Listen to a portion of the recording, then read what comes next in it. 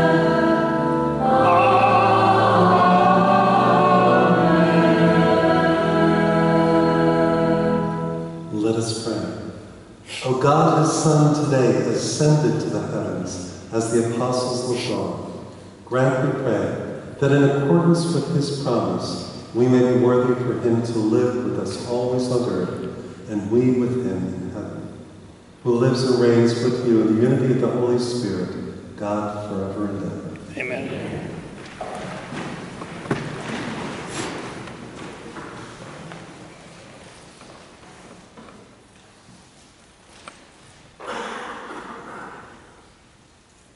A reading from the Acts of the Apostles. In the first book, Theophilus, I dealt with all that Jesus did and taught, until the day he was taken up, after giving instructions through the Holy Spirit to the apostles whom he had chosen. He presented himself alive to them by many proofs after he had suffered, appearing to them during forty days, and speaking about the kingdom of God. While meeting with them, he enjoined them not to depart from Jerusalem, but to wait for the promise of the Father, about which you have heard me speak. For John baptized with water, but in a few days you will be baptized with the Holy Spirit. When they had gathered together, they asked him, Lord, are you at this time going to restore the kingdom of Israel? He answered them, it is not for you to know the times or seasons that the Father has established by his own authority. But you will receive power when the Holy Spirit comes upon you, and you will be my witnesses in Jerusalem, throughout Judea and Samaria, and to the ends of the earth.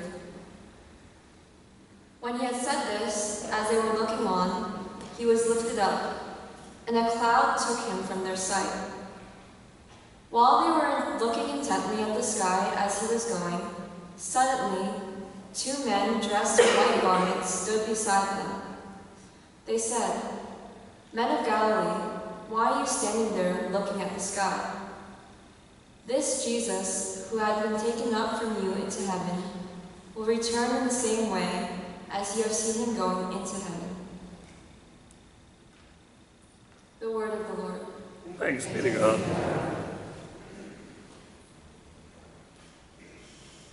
Our song response God mounts his throne to shouts of joy, a blare of trumpets for the Lord.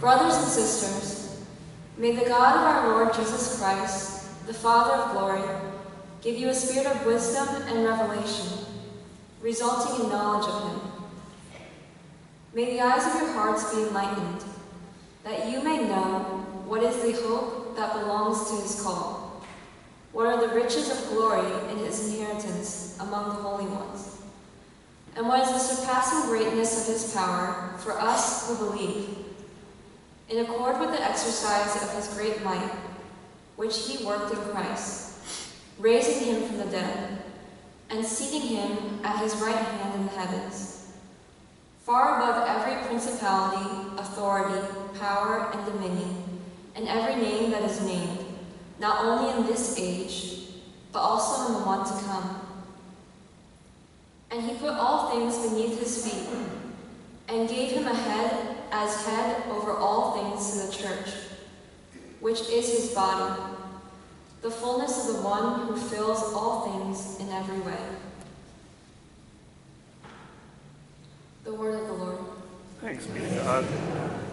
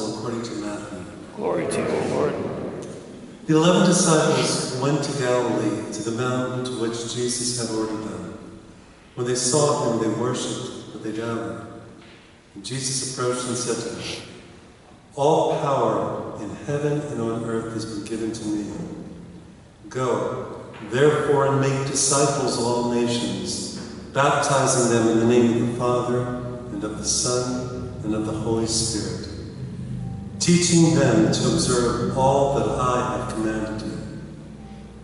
And behold, I am with you always until the end of the age. The Gospel of the Lord. Praise to you, Lord Jesus Christ.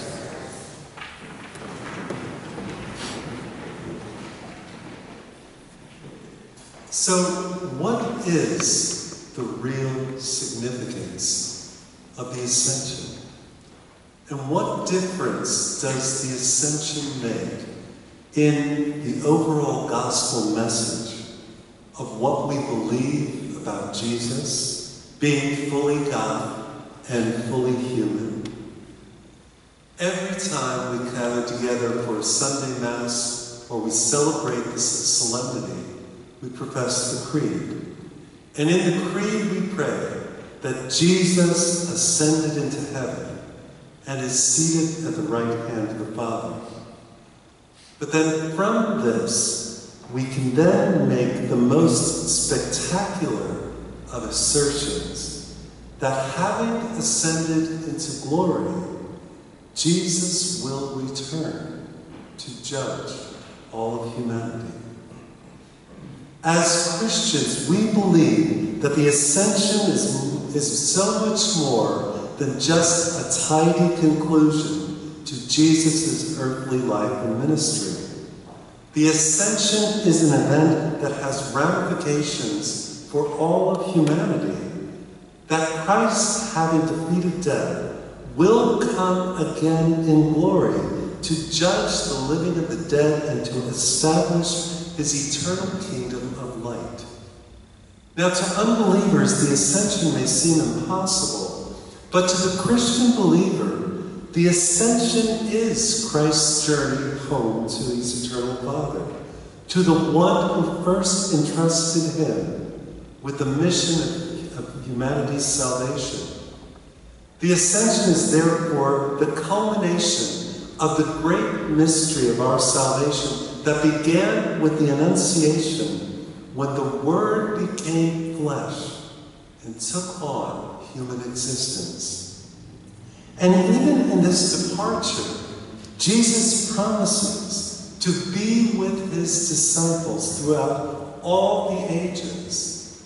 Jesus will not abandon us, but through the mystery of ascension, he who once lived on earth is now present to every generation in every age.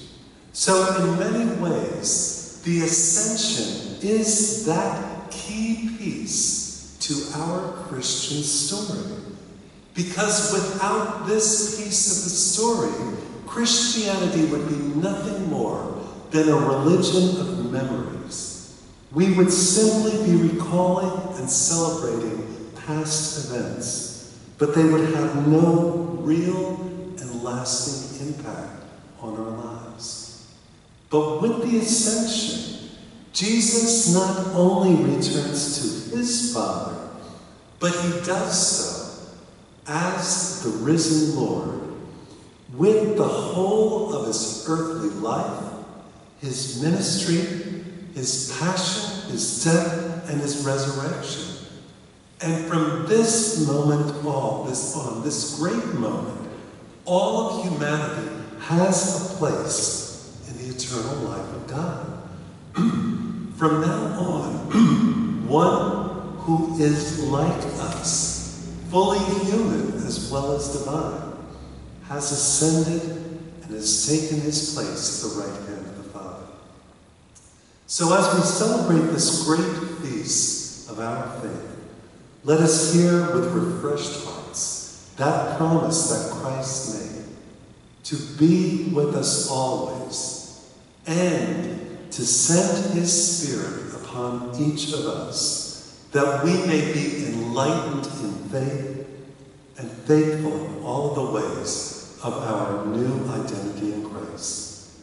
So let's pray as we go forth from this celebration that we might be filled with that hope of eternal life in God, a hope that is founded in the person of Jesus Christ, who is both God and man.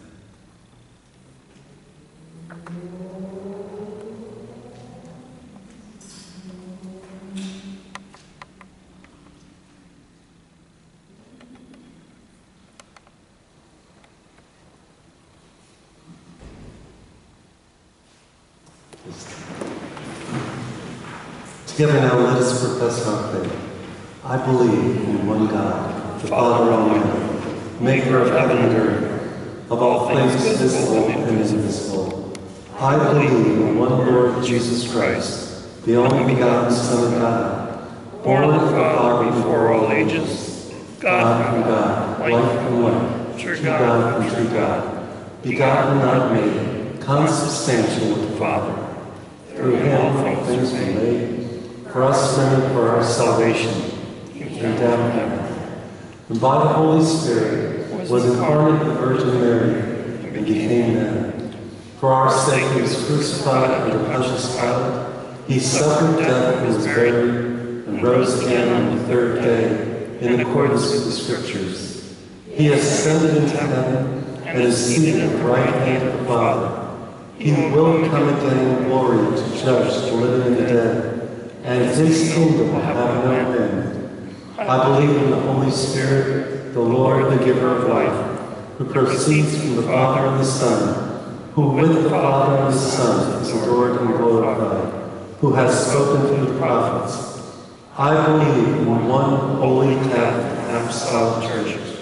I confess one baptism for the forgiveness of sins, and I look forward to the resurrection of the dead and the life of the world to come. God has given us the Holy Spirit that we might be faithful disciples to all nations. With trust in his goodness, let us offer him our prayers this day. For the Church, may God continue to make us into his holy people, proclaim with zeal and commitment that promise of Christ to be with us always. Let us pray to the Lord. Lord, hear our prayer. For those who lead our communities, governments, and nations, may the Lord give them the strength to govern wisely. Let us pray to the Lord. Lord, hear our prayer. For vocations to the holy priesthood and religious life, let us pray to the Lord. Lord, hear our prayer. For all who are sick, especially those struggling with mental illness, and for those who care for them, let us pray to the Lord. Lord, hear our prayer.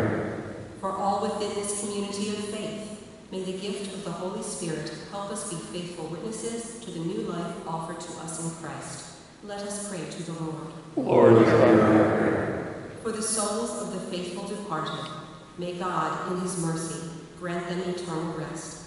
Let us pray to the Lord. Lord, hear our prayer. Loving God, by ascending to your right hand, Jesus has restored to us the promise of eternal life. Hear and answer the prayers that we have offered. In his name,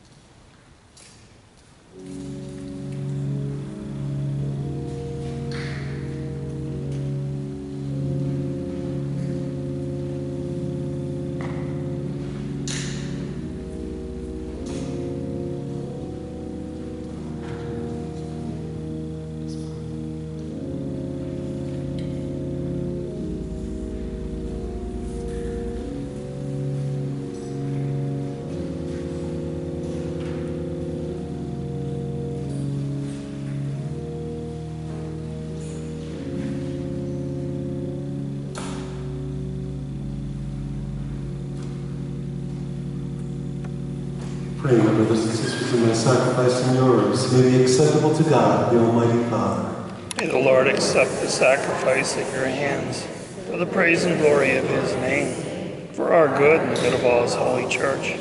O God, his only begotten Son, our high priest, is seated ever living at your right hand to intercede for us. Grant that we may approach with confidence the throne of grace and there obtain your mercy through Christ our Lord.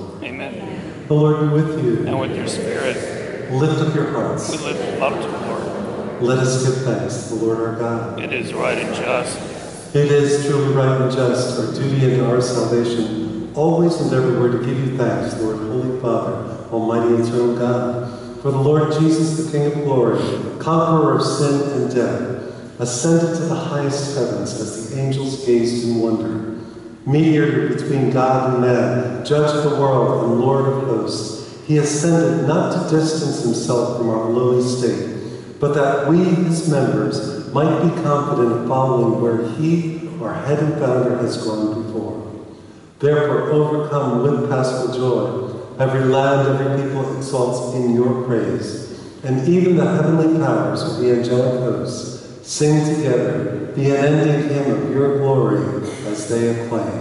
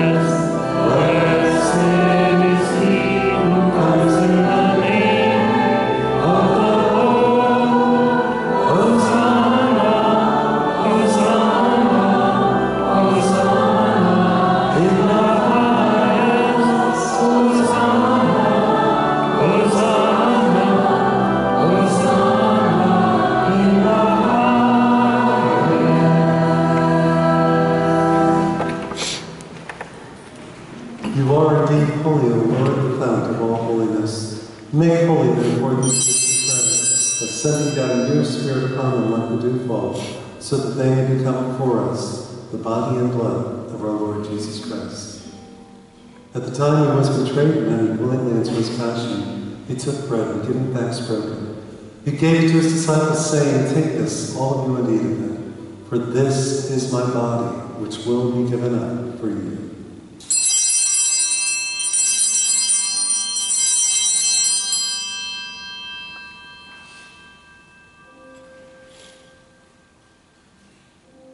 In a similar way, supper was ended, took the chalice, and once more giving thanks, he gave it to his disciples, saying, Take this, all of you, and drink from it, for this is the chalice of my blood, the blood of the new and eternal covenant, which will be poured out for you and for many for the forgiveness of sins. Do this in memory of me.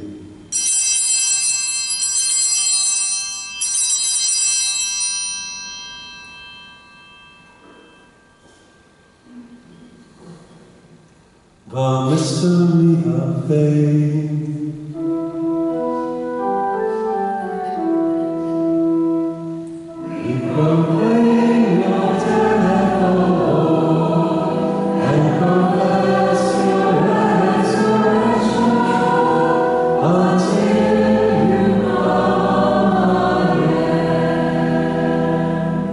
Therefore, as we celebrate the memorial of his death and resurrection, we offer you, Lord, the chalice of salvation, giving thanks that you have held us worthy to be in your presence and minister to you. Humbly we pray that partaking of the body and blood of Christ, we may be gathered into one by the Holy Spirit. Remember, Lord, your church, spread throughout the world, and bring her to the fullness of charity, together with Francis our Pope, Alfred our Bishop, and all the clergy. Remember also our brothers and sisters who have fallen asleep in the hope of the resurrection, and all who have died in your mercy. Welcome them into the light of your face.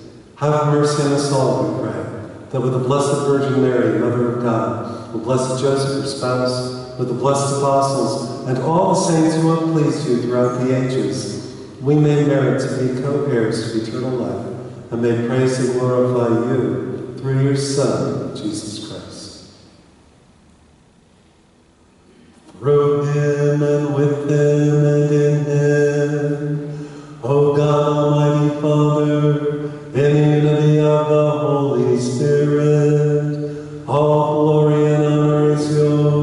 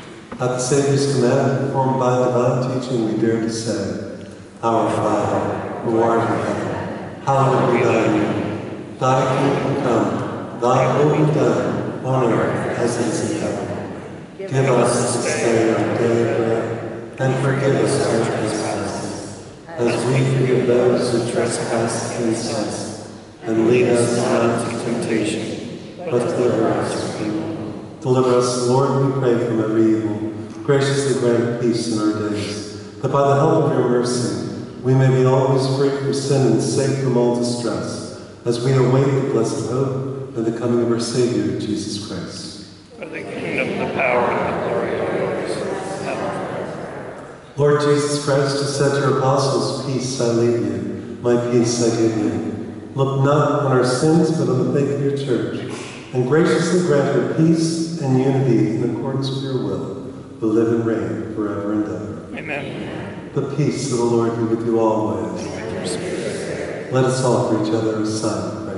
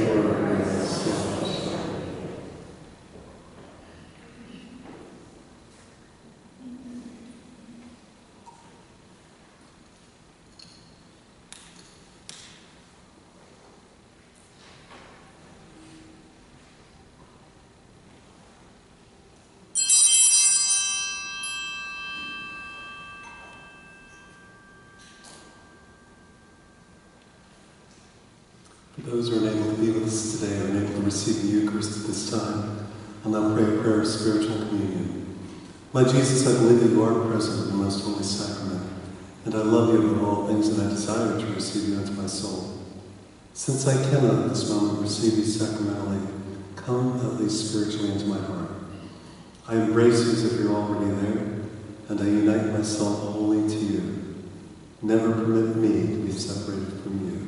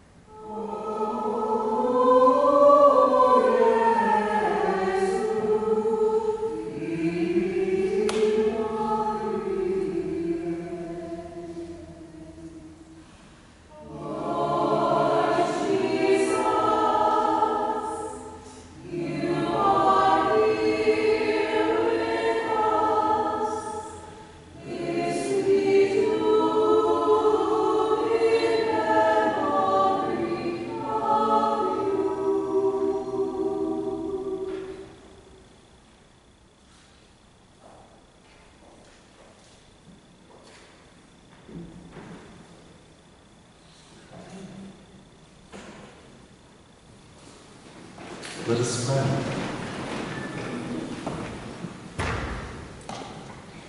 May the gifts we have received from your altar, Lord, kindle in our hearts a longing for the heavenly homeland, and cause us to press forward, following in the Savior's steps, to the place where for our sake he entered before us, who lives and reigns forever and ever. Amen. The Lord be with you. And with your spirit. May Almighty God bless you, the Father, and the Son, and the Holy Spirit. Amen. Go in peace. Thanks be to God. Saint Saint Michael the Archangel, defend us in battle. Be our protection against the wickedness and snares of the devil. May God rebuke him, we humbly pray. And do thou, O Prince of the heavenly host, by the power of God, cast into hell Satan and all the evil spirits who prowl about the world ruin the soul. Amen. Our recessional is hymn number 430, Go Make of All Disciples, hymn 430.